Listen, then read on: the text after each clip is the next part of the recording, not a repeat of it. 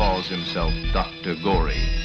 Where did he come from? The answers lie in another part of the universe, some 40,000 light years from our own sun, on a line with a constellation we call the Archer. There, in the Geisty solar system, is the planet E, the fifth planet out from its sun. Planet E is among the most civilized and sophisticated planets in the entire universe. Its technology and culture far outstrips our own Earth. The inhabitants of Planet E Ape men like Dr. Gori were peace-loving as well as civilized. One day they chose Dr. Gori as their leader. He was a brilliant scientist with an IQ far above that any human could hope to attain. However, the citizens of Planet E had made a grave mistake, for Dr. Gori was a mutant. Gori felt that the advanced technology his world had developed was being wasted on peaceful objectives he began to design and manufacture deadly weapons with which he could overthrow the central government of his planet and then extend the domination of his kind to other worlds in the universe. Fortunately, his plan became known to the government before he could carry it out. Dr. Gori was tried and found guilty.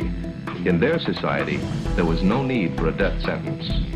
People's minds could be altered so their evil or disagreeable natures no longer existed.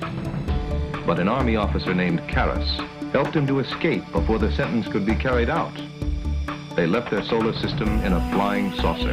Dr. Gori and Karras wandered aimlessly through space for many years, until one day a magnetic storm swept their ship across space and brought them to our planet Earth. He had never seen such beauty.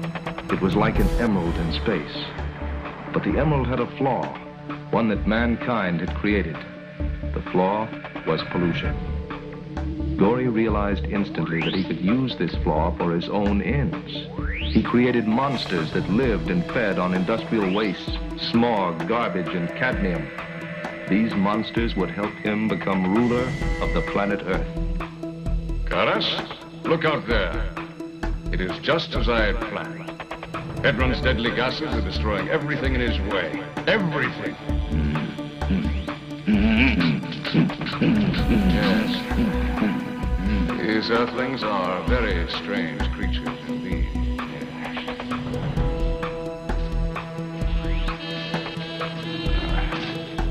They use their resources without thought for the future. They are set on destroying their own world.